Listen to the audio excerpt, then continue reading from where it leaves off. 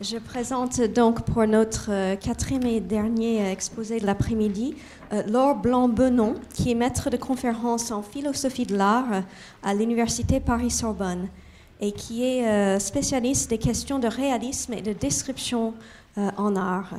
Son exposé s'intitule donc Le miroir et le caméléon, les enjeux philosophiques de la photographie directe des couleurs. Donc elle nous permettra de revenir sur certains de ces concepts clés qu'on vient de voir dans les exposés précédents. Elle euh, argumentera notamment que l'idée de la photographie comme un miroir ou une surface euh, caméléon euh, brouille un petit peu les, pistes pour comprendre la, nature de la photographie. Bien, alors beaucoup de choses, enfin, l'essentiel a déjà été dit, en tout cas sur le 19e siècle. Les quantités de mes citations ont déjà été citées une fois, deux fois, trois fois, quatre fois. Euh, les seules nouveautés euh, dans ce que je vais présenter aujourd'hui euh, sont liées à des théories philosophiques au sens large hein, du XXe siècle, donc des années 80 jusqu'aux années 2010, et je vais essayer de faire un grand écart entre 1848 et 2010. Donc mon but aujourd'hui, ce sera simplement d'expliquer en quoi il y a selon moi un lien entre euh, une question philosophique qui occupe les philosophes de l'art aujourd'hui, la question du brouillage contemporain des frontières entre euh, peinture et photographie dans les pratiques artistiques, et le rôle euh, qu'a joué en 1848 cet objet particulier que constituent les, plaques Becquerel dans, l'histoire de la photographie. Alors je me suis permis très scolairement d'annoncer mon plan étant donné les, sauts temporels que je vais effectuer. Je vais d'abord commencer par vous présenter le problème qui m'intéresse à partir de euh, deux exemples d'images, l'image d'une photographe, Delphine Ballet, et du peintre Gerhard Richter. Ensuite, j'exposerai les théories, très rapidement, les théories philosophiques euh, de l'image dont on dispose, les, outils conceptuels dont on dispose en philosophie pour penser la spécificité du médium photographique pour constater, euh, deuxième temps, que toutes ces théories, euh, dans toutes ces théories, il y a un même déni de, la couleur, pour revenir ensuite à 1839 euh, et 1848, daguerréotype et plaque Becquerel, pour montrer comment l'invention technique est aussi liée à l'invention d'une idée comme euh, Nathalie euh, l'a un petit peu expliqué aussi euh, à l'instant. Et muni de tous ces outils, je reviendrai à mon point de départ pour, alors comme plusieurs intervenants cet après-midi, prendre la défense de la méthode indirecte contre la méthode directe, du moins du point de vue de l'idée de la photographie. Alors, pour ce qui est de mon point de départ, j'ai choisi deux exemples pour illustrer mon propos. J'aurais pu en prendre quantité d'autres. Euh, d'abord, le travail d'une photographe française contemporaine, Delphine Ballet. Euh, et euh, ensuite, le travail beaucoup plus connu, sans doute, du peintre, Gerhard, Gerhard, Richter.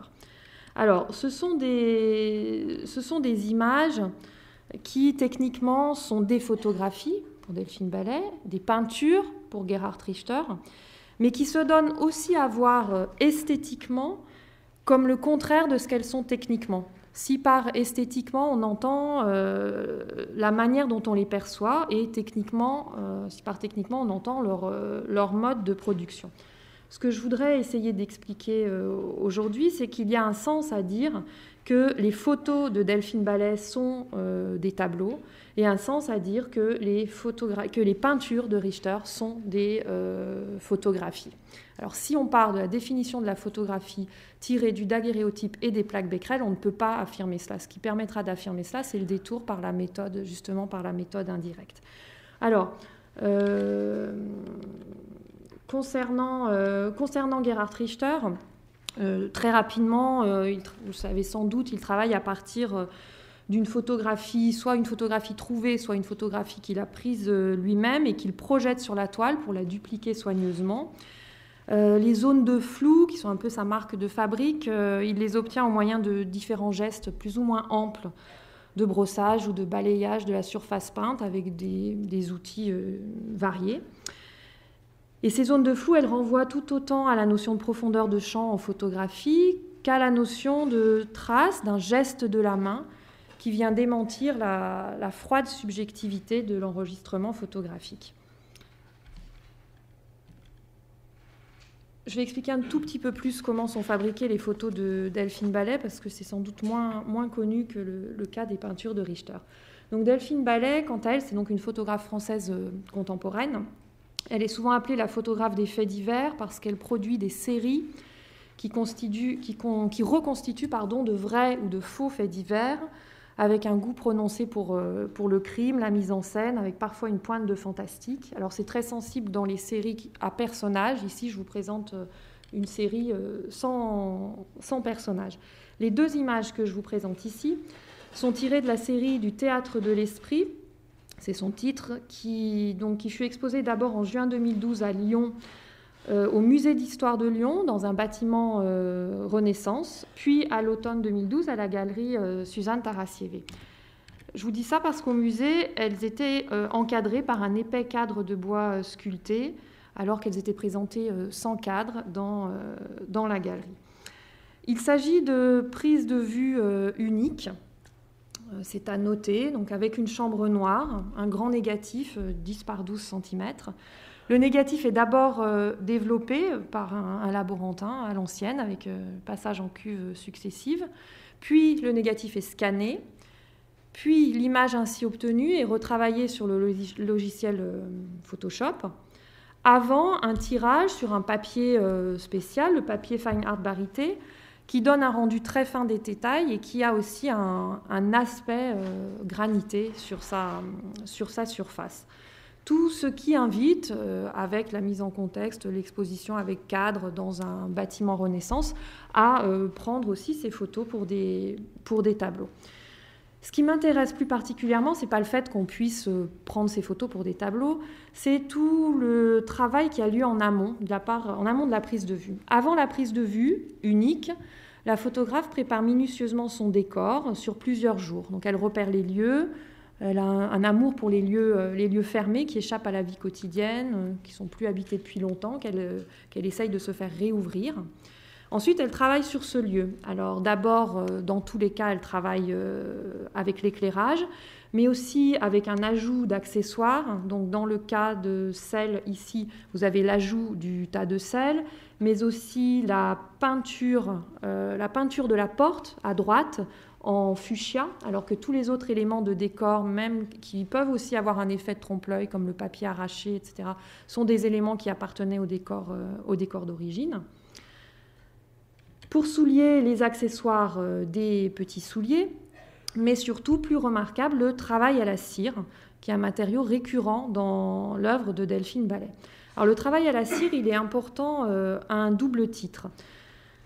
D'abord parce que la cire, c'est un matériau qui, donc, change d'état quand on le chauffe et euh, que la photographe ici fait d'abord s'écouler lentement, au moyen d'une bougie qu'elle place au sommet de la porte, au sommet des murs, jusqu'à ce que la cire euh, s'écoule jusqu'en bas, jusqu'au jusqu'au sol. Donc euh, un matériau qui s'écoule ainsi lentement et cette dimension de durée est un point euh, sur lequel insiste euh, Delphine Ballet. Je, la cite. Quand je fais une photo, la genèse est très longue. Mais quand la scène apparaît devant moi comme je l'ai imaginé, que devient réel ce qui était dans ma tête, alors c'est un moment magique, une sorte d'état de grâce, un bien-être qui malheureusement ne dure pas, même si le temps est suspendu par la prise de vue.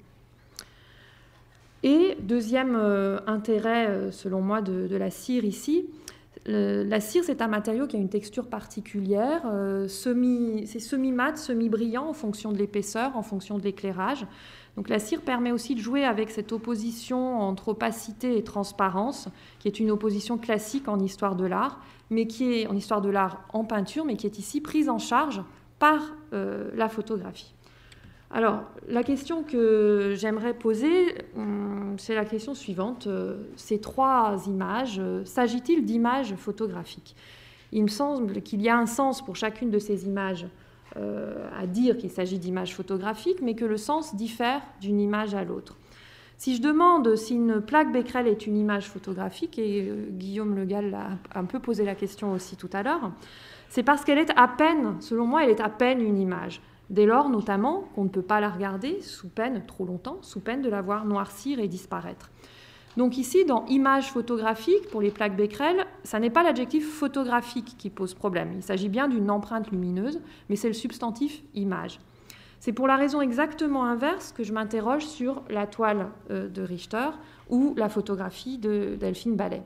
Dans ce cas, le mot image ne pose pas problème. Nous avons évidemment affaire à des images perceptibles qui sont livrées à l'appréciation esthétique euh, du spectateur.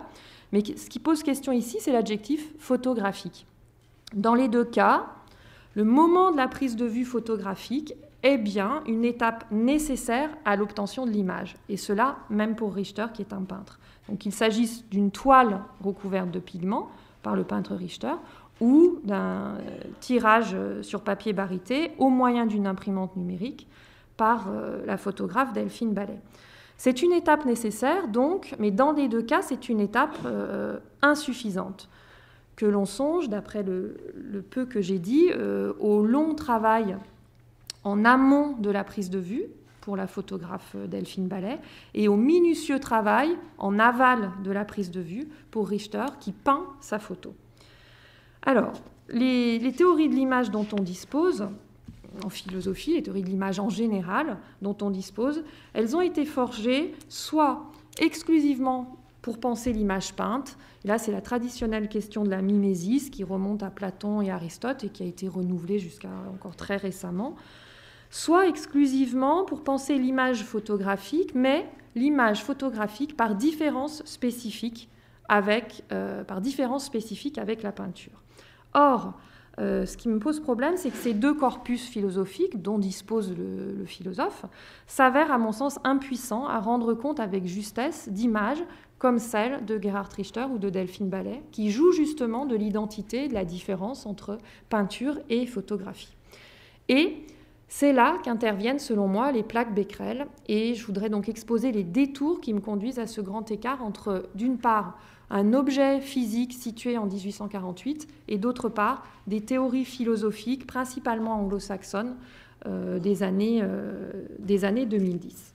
Alors, de quels euh, matériaux conceptuels dispose-t-on en, théorie de la, en théorie de la photographie? Qu'on parle d'objectivité comme Bazin, d'indicialité ou de transparence, il s'agit dans tous les cas de théories qui visent à penser la spécificité du médium photographique par opposition à la peinture, ce que je viens de, dire. Je voudrais euh, vous donner simplement quelques exemples avec quelques citations pour dégager euh, quelques points communs supplémentaires, euh, quelques points communs, vous allez voir, qui sont en fait en lien avec la méthode directe. D'abord, André Bazin. En ce sens, donc le théoricien du cinéma en, 1958. En ce sens, on pouvait considérer la photographie comme un moulage, une prise d'empreinte de l'objet par le truchement de la lumière. Ou bien, l'originalité de la photographie par rapport à la peinture réside donc dans son objectivité essentielle. Pour la première fois, une image du monde extérieur se forme automatiquement sans intervention créatrice de l'homme, selon un déterminisme rigoureux. L'image peut être euh, floue, déformée, décolorée, j'y reviendrai, euh, sans valeur documentaire. Elle procède par sa genèse de l'ontologie du modèle. Elle est le modèle.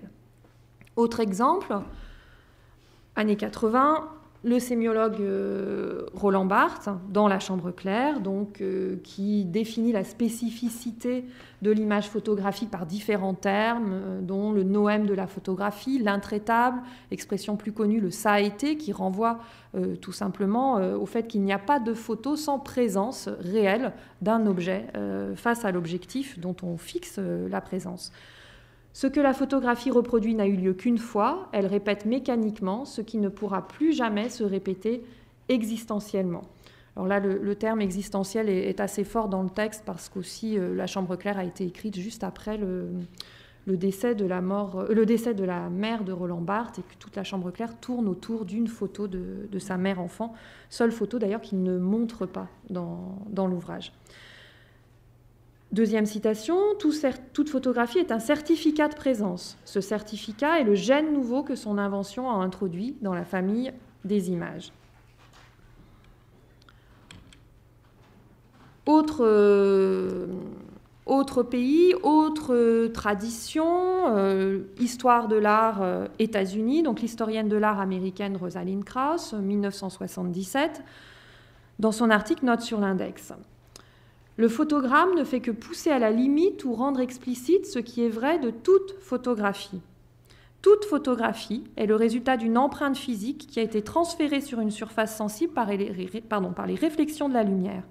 La photographie est donc le type d'icône ou de représentation visuelle qui a avec son objet une relation indicielle. Ce qui la distingue de la véritable icône, c'est le caractère absolu de cette genèse physique. Le pouvoir de la photographie participe de celui de l'index. Alors je ne vais pas entrer dans les détails, mais elle reprend ici euh, une distinction entre icône et index. Elle reprend cette distinction un, philosophe, euh, Charles Sanders Peirce. Euh, et c'est une, distinction qu'on va retrouver dans tout le champ de la théorie photographique dans les années, dans les années 80 en France. Deux philosophes euh, américains, euh, enfin, à peu près dans les mêmes années, ça commence dans les années 80 aussi euh, aux États-Unis. Kendall Walton, avec la notion de transparence, pour dire la spécificité de l'image photographique par rapport à l'image peinte. the invention of the camera gave us not just a new method of making pictures and not just pictures of a new kind, it gave us a new way of seeing. Et autre euh, citation, euh, autre citation connue, euh, donc ce que j'affirme, c'est que nous voyons tout à fait littéralement nos proches décédés eux-mêmes lorsque nous regardons des photographies, des photographies d'eux. Enfin, dernière citation, Greg Curry, alors dont je vous donne la citation parce qu'elle établit le lien entre différents auteurs et m'amène à ma conclusion. Euh, Greg Curry, lui, établit une distinction entre euh, traces et testimonies, la trace et le témoignage. La photo est une image trace, la peinture est une image euh, témoignage. Alors, To understand the contrast between trace and testimony, compare a painting and a photograph. The painter may make a likeness of her subject so vivid and detailed that one could take it for a photograph. Donc on peut, le peintre peut bien produire la ressemblance de son sujet euh, sous une forme extrêmement vivante et extrêmement détaillée, jusqu'à ce qu'on, à tel point qu'on pourrait prendre ça pour une photographie. Euh, mais Photography is not just a device that makes paintings by cheaper and quicker means. A photograph is a trace of its subject. Et là, euh, il renvoie, euh, il établit la filiation avec, euh, avec Bazin. Bazin qui, le premier, a parlé du lien entre la photographie et la trace, notamment la trace comme empreinte de pied, comme masque mortuaire ou, comme, euh, ou, même, euh, ou même comme euh, momie. J'essaye d'accélérer un petit peu, c'est pour ça que je, saute tout cela. Greg Curry revient sur Kendall Walton qui a écrit quelques, quelques, années, quelques années plus tôt pour en donner donc une sorte de résumé. Uh, traces of all kinds are, as Kendall Walton has pointed out, in a certain sense independent of belief. Le fait que euh, l'image photographique soit indépendante de la croyance est-ce qu'il la distingue de la, euh, est-ce qu'il la distingue de la peinture ou de la description verbale. Um, camera records what is in front of it and not what the photographer thinks is in front of it if there is a difference between them but the painter paints what he or she thinks is there. D'où l'exemple à la fin euh, du peintre, euh, de l'écrivain ou du photographe qui aurait pris une substance euh, hallucinogène lors faisant voir un éléphant rose. seul le photographe, seul, le photographe reviendra avec une image sans éléphant rose. les deux autres pourront vous apporter une image, une image, une image d'éléphant rose. Alors, Euh, pourquoi toutes ces citations? Euh, J'ai fait un, petit tour extrêmement rapide, euh, à la fois en France et aux États-Unis, histoire de l'art, théorie philosophique, sémiologie, des, théories dont on dispose pour penser ce qu'on appelle aussi l'ontologie de l'image photographique. Alors, quelle définition de l'image photographique? Quelle que soit la forme qu'il prend, ce qui est assez surprenant, c'est finalement, on peut le dire, c'est finalement la pauvreté de l'argument. Euh, l'argument est le même, une photographie n'est pas une peinture parce qu'elle est produite mécaniquement et non par le geste de la main, parce qu'elle est une empreinte lumineuse qui atteste d'une présence. Alors c'est ce que l'on peut résumer par euh, l'expression d'icône indicielle qui est au centre du, du, remarquable ouvrage qui synthétise vraiment tous ces débats et qui date quand même déjà de 1987, euh, L'image précaire, l'ouvrage de Jean-Marie Jean Schaeffer. La photographie est bien une icône parce qu'elle offre au spectateur, comme la peinture, une analogie du monde tel que le perçoit les visions humaines, mais elle a également cette fonction indicielle comme d'autres types euh, d'empreintes. Elle est l'indice d'une présence. Donc l'image photographique aurait un statut hybride, mi-icône, mi-indice, qui ferait sa, spécificité. Alors vous voyez que j'ai ajouté, euh, entre parenthèses, empreinte lumineuse directe pour annoncer le lien euh, avec les plaques, les plaques Becquerel. Avant d'établir ce lien, j'ai encore besoin d'une autre, euh, étape, un constat qui sera euh, beaucoup, plus, beaucoup plus bref.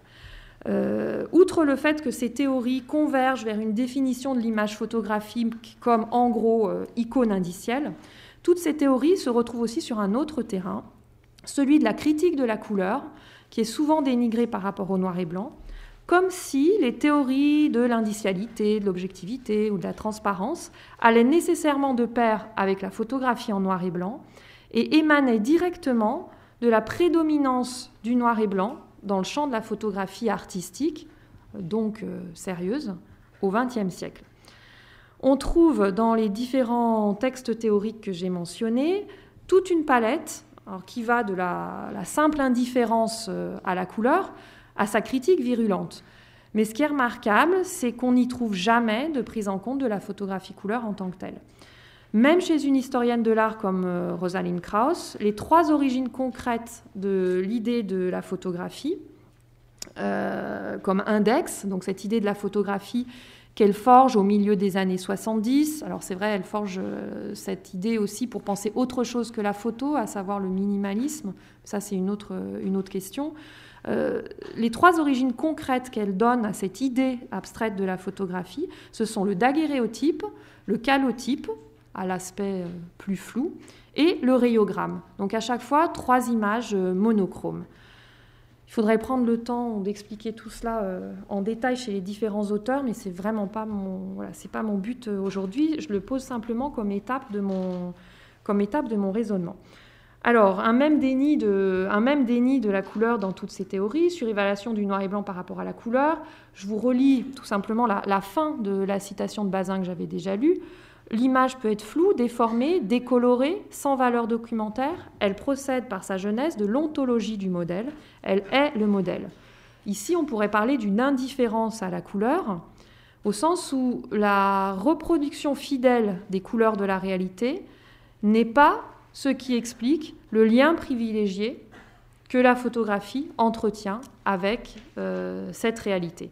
Ce lien, il tient uniquement au caractère d'empreinte de euh, l'image photographique. Et ajouter la couleur euh, ne serait même pas un plus. au pire, on pourrait presque considérer ça comme une distraction par rapport au, au caractère indiciel de la photo.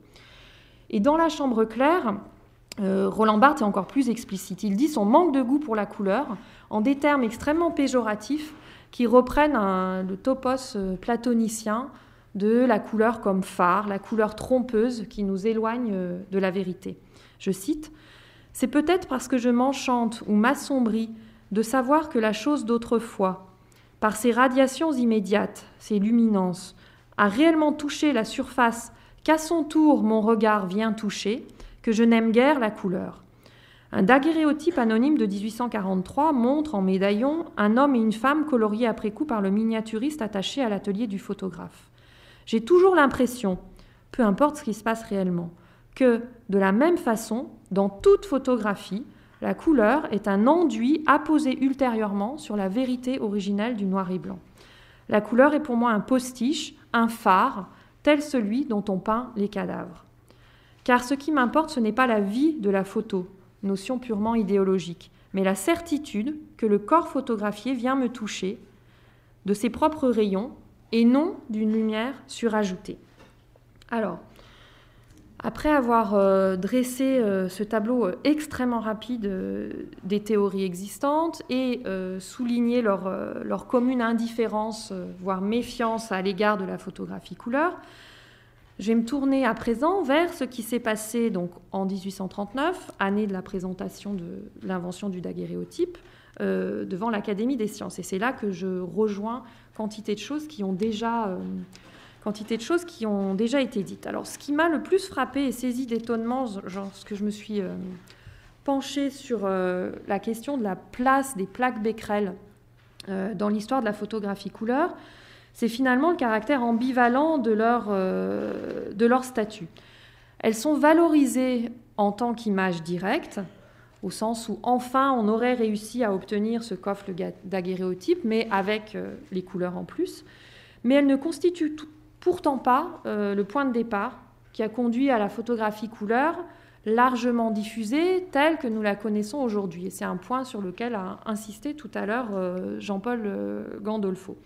En effet, donc les, images en couleur d'origine photographique que nous voyons aujourd'hui sur nos écrans, dans les magazines, sur les murs des galeries, etc., sont des héritières de la méthode indirecte et non des plaques Becquerel. Ce qui m'intéresse, c'est le fait que le décalage temporel entre l'invention de la photographie monochrome, disons 1839, le daguerréotype, et celle de la photographie couleur, disons 1903, euh, euh, les autochromes, lumière, euh, juste avant leur commercialisation, ce décalage a empêché la naissance d'une théorie philosophique de l'image photographique tenant compte à la fois de la méthode directe et de la méthode indirecte d'enregistrement de la réalité. Ce qui fait qu'on se retrouve avec des outils philosophiques extrêmement appauvris euh, dans les années 80 euh, au XXe siècle pour penser euh, l'image photographique. On peut le formuler autrement et dire que l'invention technique du daguerréotype a donné lieu immédiatement à des discours d'ordre théorique et idéologique sur la nature de l'essence de l'image photographique, alors que les produits de la méthode indirecte n'ont jamais été pris en compte autrement que par comparaison avec une idée de la photographie déjà constituée et entièrement dépendante des caractéristiques du daguerréotype. Alors, quelle, euh, quelle idée euh, de la photographie a rapidement émergé dès 1839 avec l'invention du daguerréotype? Cela a déjà été, euh, été dit ce matin et aussi un petit peu cet après-midi. L'idée d'une image mécanique, exacte, riche en détails, semblable au reflet sur un miroir, observable à la loupe, sans qu'aucune trace d'un quelconque geste de la main de l'artiste n'apparaisse. Autrement, ce qu'on appelle une image, autrement dit, pardon, ce qu'on appelle une image achéropoïète, non produite par la main humaine, une image comme miraculeuse. Donc en 1839, on invente une idée de photographie fondée sur un modèle d'image monochrome, le daguerréotype, idée contre laquelle les inventeurs de la photographie couleur auront ensuite d'une certaine manière à lutter pour faire reconnaître leurs inventions comme des techniques de photographie. Et que l'on songe, euh, par exemple, à ce qui est en fait de l'ordre de la ruse, comme l'a rappelé, je ne pense pas que ce soit le, terme que Nathalie a employé, mais comme elle l'a rappelé tout à l'heure à propos des, frères Lumière, produire des photographies directes des couleurs par la méthode indirecte, euh, selon le mot de, Fernand Montpillard. Euh, cela consiste donc à intégrer ce réseau trichrome à l'échelle microscopique, au film de, fécule de pommes de terre, mais il y a bien ici une opération de, de camouflage pour mieux satisfaire à euh, l'idée abstraite de photographie qui s'est forgée dans le sillage du daguerréotype. Alors, euh, je ne suis pas sûre de prendre le temps de tout vous lire, étant donné qu'à partir de là, quantité de mes citations ont déjà été amplement citées. Je vous explique simplement le raisonnement.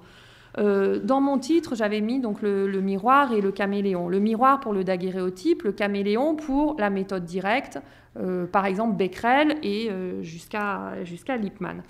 la métaphore du miroir, elle, elle, est très ancienne en fait. donc le miroir, c'est pour la photographie monochrome, le caméléon pour la photographie couleur, méthode directe. Cette métaphore du miroir, elle remonte très loin, puisqu'elle remonte à Platon, notamment au livre 10 de la République dans lequel il condamne l'image mimétique comme reflet trompeur, sans consistance, qui éloigne de la réalité de l'idée. Et ce qui est remarquable à ce propos, c'est que euh, justement le, miroir donne une image miraculeuse, absolument pas besoin de, disposer d'une technique, c'est extrêmement vite fait, c'est facile à faire, c'est vite fait, et ça, ça renvoie au au mystère qui a aussi entouré la révélation du, procédé de Daguerre en 1839, puisque euh, on a mis extrêmement, finalement, il y a eu un décalage de bien une dizaine de mois entre euh, janvier et le moment où euh, Daguerre a effectivement révélé les caractéristiques techniques de son, procédé. Donc on entretient une forme de mystère autour de la production. Euh, donc c'est, au milieu de la citation de Platon. Euh,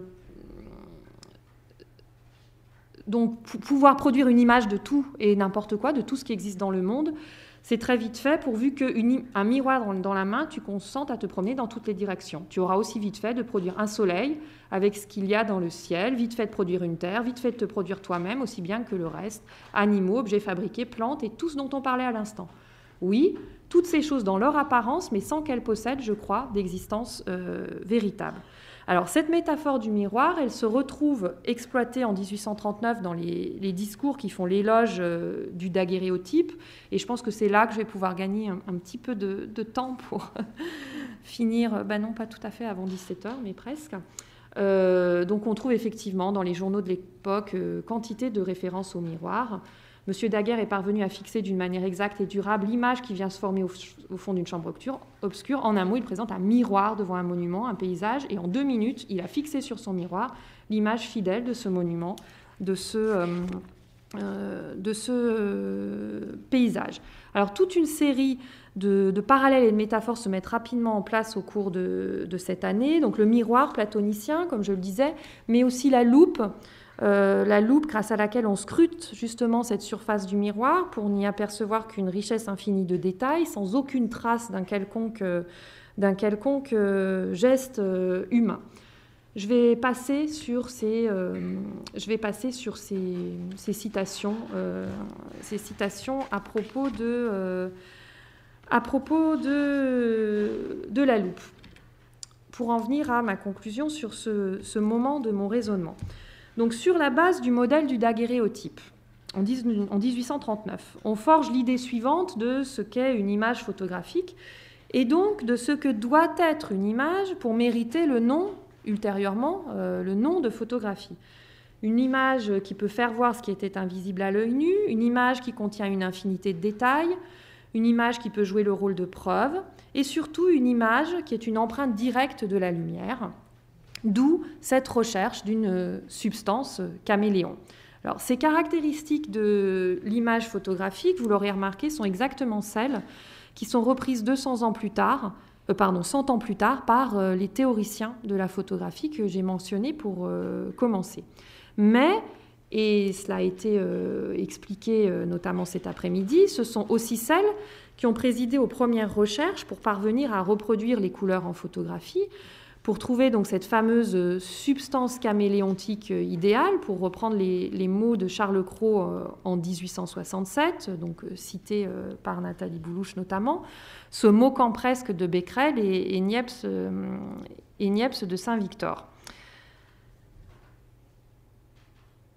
Là encore, je peux gagner du temps puisque on retrouve les citations. Alors celle-ci, je pense qu'elle a déjà été citée quatre fois dans, la journée. Mais donc cette euh, métaphore, euh, cette expression euh, de la substance caméléontique idéale vient d'abord de cette unicité d'une substance qui parviendrait à enregistrer directement les couleurs. Donc c'est d'abord effectivement D'abord, euh, effectivement, dans la bouche, euh, dans la bouche d'Arago, Pour ce qui concerne l'homme du jour, c'est effectivement aussi dans la note adressée à l'Académie des sciences du, du 7 février 1800. 1848, alors je ne vais pas tout lire, euh, simplement j'ai mis les, passages importants renvoyant à cette idée d'une substance unique et de la substance caméléon en italique. Euh, troisième ligne, le spectre semble donc d'après cela s'être imprimé sur la plaque avec des couleurs analogues, euh, analogues aux, siennes.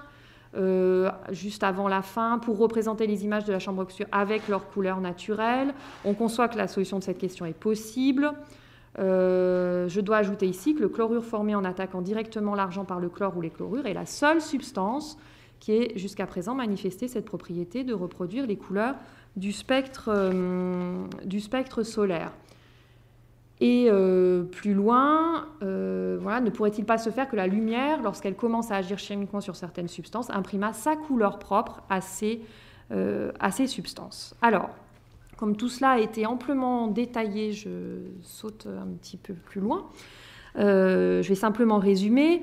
Euh, l'idée, c'est que les scientifiques se sont donc mis en quête d'une substance caméléon capable de reproduire directement les couleurs naturelles, comme le daguerréotype enregistrait directement les formes au moyen de nuances de gris.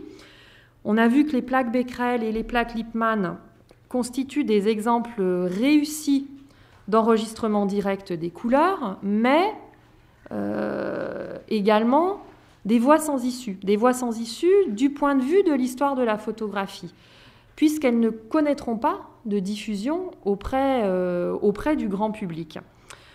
Euh, donc les, raisons, elles ont été énoncées amplement aujourd'hui, donc je ne vais pas, pas les rappeler à propos des plaques Becquerel et à propos des, à propos de, des plaques Lippmann.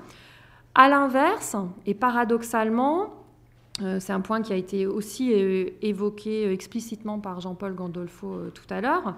Du côté de la méthode indirecte, on trouve des techniques relativement faciles de conception et d'utilisation, comme les héliochromies de Ducos du Horon et Charles Cros, mais qui seront idéologiquement rejetées parce qu'elles sont indirectes et ne satisfont pas la quête de la substance, euh, cette fameuse quête de la substance euh, caméléon. Alors tous les acteurs de ce débat, sont notamment Charles Davanne Edmond Becquerel, euh, Léon Vidal, mais je ne vais pas m'apesantir sur cette question.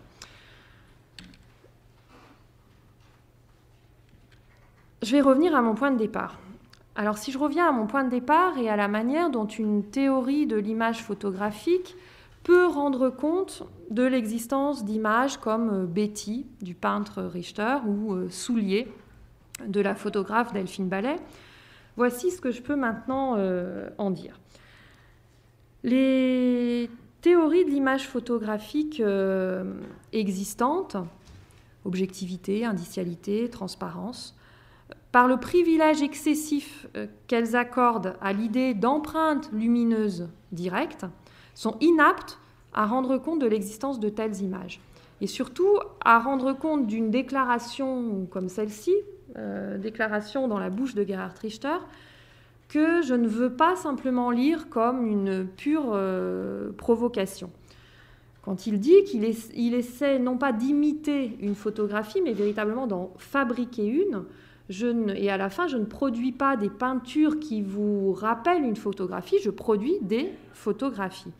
Euh, j'aimerais euh, comprendre euh, cette phrase, non pas en un sens esthétique, mais en, un, sens, technique. Ce qu'il dit là, c'est que ces peintures, ce ne sont pas simplement des peintures qui esthétiquement ressemblent à des photographies. Pour lui, ce sont aussi techniquement des photographies. Alors, l'inaptitude euh, des théories euh, philosophiques euh, dont on dispose, donc sur l'objectivité, indicialité, transparence, etc. L'inaptitude de ces théories à rendre compte de ce genre d'images qui brouillent les frontières entre peinture et photographie, cette inaptitude, elle est liée selon moi au privilège que le noir et blanc a longtemps eu sur la couleur dans l'histoire de la photographie et à la mise en place aussi de ces, utopies du miroir et du caméléon qui ont freiné la réflexion euh, sur la nature de l'image photographique, qui l'ont figée. Or, aujourd'hui, on commence à voir apparaître dans le champ de la philosophie anglo-saxonne, héritière donc des, textes de Kendall Walton, euh, Greg Curry que, j'ai cités, que j'ai évoqués, comme n'étant pas fondamentalement différents de, la tradition française de Bazin, Barthes ou de l'historienne de l'art Rosalind Krauss. Donc on, commence à voir apparaître un nouveau type de théorie qui justement se battent contre cette idée abstraite de la photographie comme empreinte directe de la lumière, qui s'est construite avec la et avec la quête d'une substance caméléon, dont les plaques Becquerel constituent une étape euh, remarquable. Alors pour ces théories, dont je vous donne euh, deux exemples euh, assez proches, vous pouvez constater que l'image photographique, au lieu d'être, est d'abord pensée comme un processus, au lieu d'être réduite à une seule étape, celle de l'instant de l'enregistrement, cet instant de l'enregistrement qui était l'étape privilégiée par les théories des années 80, euh, que ce soit le ça a été de Barthes ou l'index euh, de Rosalind Krauss, etc. Donc au lieu d'être réduite à une seule étape, celle de l'instant de l'enregistrement, ce moment où miraculeusement le reflet sur le miroir se mue en une empreinte euh, indélébile, l'image photographique est pensée comme le résultat d'un processus à plusieurs étapes et le résultat, c'est une image visible pour le spectateur. Alors si je commente euh, la première proposition de Don, euh, Wilson, euh, vous avez quatre étapes. première étape, c'est l'image qui se forme sur le fond de la chambre obscure, tremblotante éventuellement, qui a une certaine qui est dynamique en ce sens-là. Ce n'est pas, ce n'est pas encore une photographie. Euh, deuxième étape, le ce qu'elle appelle le photographic event. Troisième étape, l'existence d'un enregistrement, mais qui n'est pas encore une photo parce que ça n'est pas encore une image visible. Enfin, production d'une image statique visible euh, qui a des propriétés visuelles. Donc ça peut être livré à l'appréciation esthétique. Et là, on parle de photographie. Alors, pour répondre à ma question initiale, euh, s'agit-il de photographie à propos de la plaque Becquerel, de la photo de Delphine Ballet ou du Betty de Richter? Dans le cadre de cette théorie, les plaques Becquerel ne sont pas des photographies parce qu'elles s'arrêtent au stade, elles s'arrêtent, pardon, au stade, au stade 3. Elles ne permettent pas de produire des images visibles stables. Autre exemple, euh, Dominique Lopez euh, nous avons ici cinq étapes parce qu'il rajoute, euh, alors il rajoute une première étape euh, qui est la scène du monde, c'est-à-dire qu'il intègre la scène pro-photographique à la définition de l'image photographique, ce qui permet de rendre compte de, ben, du cadrage, de l'éclairage, ou par exemple de tout le travail à la cire qui est fait par Delphine Ballet sur le décor et dont elle dit qu'il appartient véritablement euh, à la constitution de son image photographique. Il ajoute aussi, euh, par rapport à la proposition précédente, la quatrième étape, le mark-making process. Euh, ici, c'est Betty de Richter qui peut apparaître paradoxalement comme étant une image photographique.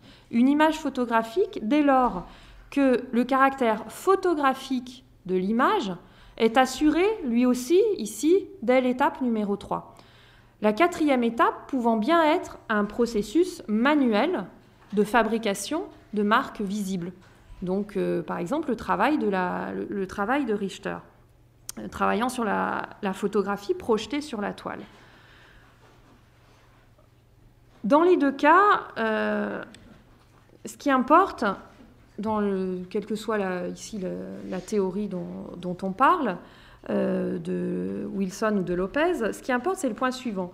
Ce qui constitue une différence de nature irréductible entre peinture et photographie, ce qui fait qu'une photographie ne sera jamais une peinture, une peinture ne sera jamais une photographie, c'est euh, l'enregistrement, euh, l'étape de l'enregistrement objectif. Cela ne constitue, dans le cadre de ces théories, qu'une étape parmi d'autres du processus de fabrication de l'image peinte ou de l'image euh, photographique, de ce qu'on peut, dans les deux cas, appeler, euh, en tout cas, une, euh, une photographie dans le, cadre de ces nouvelles théories.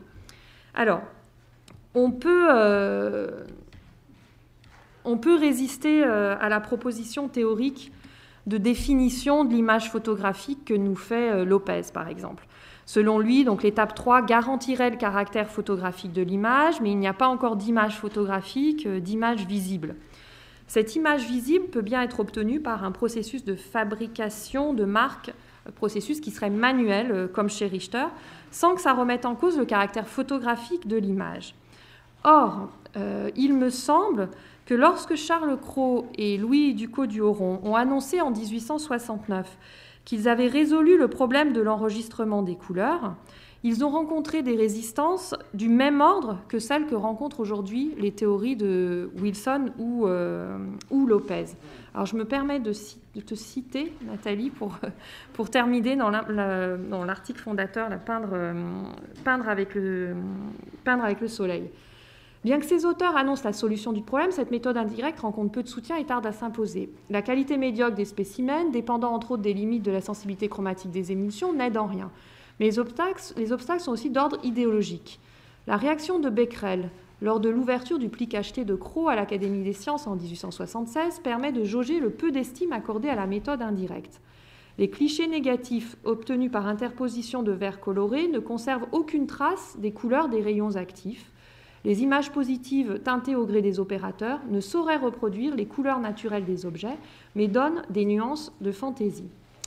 Sa critique pointe évidemment la divergence essentielle. Dans la méthode indirecte, les couleurs ne sont pas issues de l'empreinte de la lumière. L'image photographique, alors c'est est, pardon, l'image photographique est soumise à l'arbitraire des colorants artificiels et des manipulations chromatiques. Il me semble que c'est euh, en un sens ce que l'on reproche à Gerhard Richter quand il prétend produire des, euh, photographies. Alors, tout le but de, ce parcours, euh, pour moi, est de défendre les nouvelles théories dont je viens de parler, les nouvelles théories de l'image photographique. Pour défendre ces nouvelles théories, le philosophe a besoin de lutter contre le préjugé qui consiste à considérer la notion d'empreinte lumineuse directe comme nécessaire et suffisante. Alors elle est nécessaire, mais comme nécessaire et suffisante à la définition de l'image photographique, alors qu'elle n'en constitue la plupart du temps euh, qu'une étape. Donc il doit faire face à certaines résistances qui sont d'ordre idéologique, qui sont liées à la longue histoire de la métaphore du miroir, à la longue quête de la substance caméléon, au relatif désintérêt, voire mépris qui ont suscité à leur début les exemples de méthodes indirectes de, euh, photographie. Ces résistances euh, sont, selon moi, du même ordre que celles que rencontrèrent euh, Charles Cros et Louis Ducos-du-Oran en 1869. Elles sont liées au mythe de l'image achéropoïète qu'on obtient simplement en pressant sur un bouton et qui serait le fruit d'un enregistrement instantané. Voilà, je vous remercie, j'ai terminé.